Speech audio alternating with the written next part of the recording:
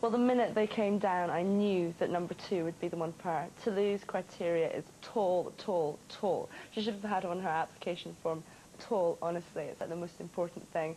Number three was garish, and not to be rude, but just a bit in your face. Tolu prefers conservative, smart, and someone who will, like, frankly, match her. She likes somebody who, you know, she'll look good with. And, um, yeah, he seems to have class, style, and some personality, too. I think that they should have fun together. No, I knew she would. you should know. You like minded, so you, that makes you feel a little better now. Makes me feel really good. You're in with the mates. That's always very, very helpful. Okay, I have a little job for the two of you. Video cameras. I want you to record your innermost thoughts for us. When you've got a moment alone, stick that in your face and tell us how you're feeling. So keep a video diary for us. Can you All do that? right, all right. Is that okay? Yeah. Now, as I said, you are going to Dublin. Uh-huh. It's my hometown. Miss everybody so much. But I'm going to be there. So you are going to have a fantastic time. I've just I'm- come back. Oh, really? Yeah. You're coming back again with me, and you're going to have a good time. I'm going to bring you out for a night, and we'll have a great time. Okay? Okay. Now, the poor lads that didn't get to go to Dublin, they're probably devastated. Yes, I think they are. Guys, you gutted about missing out on the trip to Dublin. Yeah, definitely, definitely. It means I'm in work now on Wednesday, so Oh, really? yeah, not good. Double gut. Double gut. Where's... Um, no, not really gutted about missing out on Dublin. Could have been somewhere nicer, but yeah, a bit gutted. Yeah, could have been the other side of the Yeah. world, couldn't it? Yeah, definitely. Instead of definitely. just over the old Irish Sea. well, stay right here because it's time for a quick break, but still to come, we get to the bottom of Sophie's date with Leon. So I still don't know how she's thinking, but tonight I'm going to make the move and find out once and for all.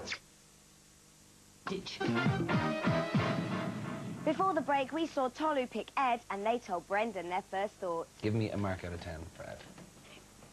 Eight. Eight? yeah. That's quite high. Yeah, because it is like a chemistry thing. It's like just Actually, I feel like a gooseberry right now. Actually, I can feel it. It's just flowing across my front of my face. And still with me are the second round losing boys. Come on, boys. With me. With me now. I'm a left-handed loser. I was going to say, you're both left-handed losers. Have you had time to recover from the shock of rejection yet? Well, it's, it has sinking, I would say now, definitely. I think the worst thing is going to tell the family and friends I'm back tomorrow, really. So, Did you have your suitcase all packed, ready to go? definitely packed, you know, my mum packed it for me last night. Your mum packed it for you. Even down to my parents in bed, but it looks like it's not in use anymore. Ken, are you a mummy's boy? Certainly am, certainly am. My mum won't be impressed after she said that about me not being tall enough, but I know. Were you gutted you were dumped? Jumped at the first hurdle. I suppose I, I, I do prefer a little sister to a big sister walking around with, so How tall are you? five, five foot, and seven, uh, five foot nine, Five foot nine. five foot eight, I think. There's nothing wrong with that. I don't think. Wes, how tall are you? 5'11". There's nothing wrong with either of those She was quite tall though, wasn't she? It was taller. I've not I think she was just wearing high to- heels and that big boof on hair as well made her a couple of And maybe, inches taller. and maybe I called her a beast as well. Something. You called her a beast. Well, I Called her a beast. About beauty and the beast, I says, uh, uh, even if you are a beast, I can still play the beauty. Well, I'm not surprised now, frankly. Cheeky. Now, um, I just have to say, Ken, that we are going to show a little bit of your audition tapes now. I think they're very, very No. funny. And uh, it is. This is what the auditions held in London, Manchester, and Edinburgh. And I think it's fair to say that Ken's was the strangest audition piece we've had so far.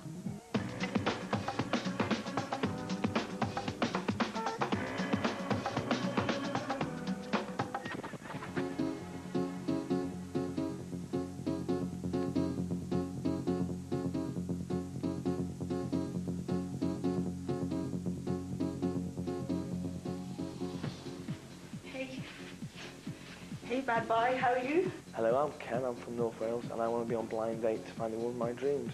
Hi, my name's Wesley. I'm from Colchester, and I'm here today to audition for Blind Date Extra. Hi, my name's Ed, No, it's not extra, is it? It's the normal one. and um, I'm from Devon, and I'm here today to audition for Blind Date. I should really thank lots of people for bringing me here. So I'd like to thank my mum and dad for doing what they did, bringing me here. I'd like to thank my friends for supporting me. I'd also like to thank my goldfish, because my goldfish, it swims around and I get to watch it. The thing is, my goldfish did die yesterday, but... so I went out to get new shoes because my goldfish did die, so I'd have something else to thank my new shoes. so that's my party piece, thanking everybody. Well, uh, I did a kookaburra. Me and my friends would go out, down in shots, say a double vodka. And whoever finishes last has to do a kookaburra. They send you over to a group of girls of their choice, and you have to start doing the kookaburra, and the kookaburra, and the kookaburra. and that's why I'm on blind date. Did the stars fall out of the sky when they dropped into your eyes? My nickname's Monkey Boy. I can skip with my arms through 360 degrees, so it's really quite nasty.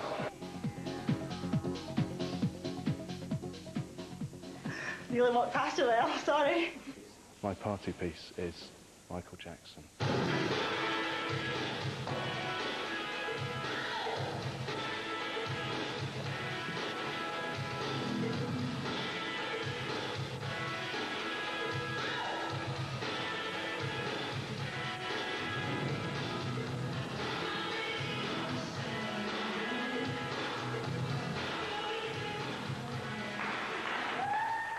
Normally people tell me to stop it after a while.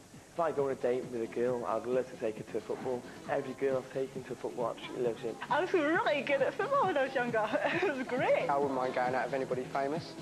Uh, perhaps someone a bit like um, Penelope Cruz.